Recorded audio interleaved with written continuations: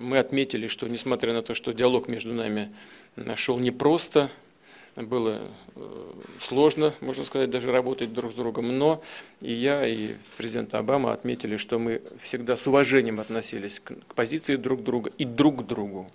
Это будет, э, весь этот комплекс вопросов будет основным и на... Вновь избранный президент Соединенных Штатов подтвердил свои намерения по нормализации э, американо-российских отношений – со своей стороны я, конечно, сделал то же самое. Мы всегда об этом говорили.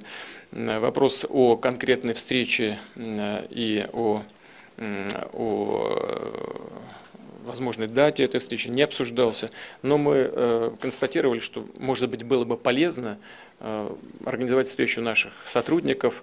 Ну, пока мы видим, э, вновь избранный президент Соединенных Штатов активно занимается формированием своей собственной команды, поэтому говорить о том, что даже сотрудники встретятся в ближайшее время, затруднительно, поскольку и сотрудников-то у него пока официальных не появилось. Ну, подождем, время еще есть.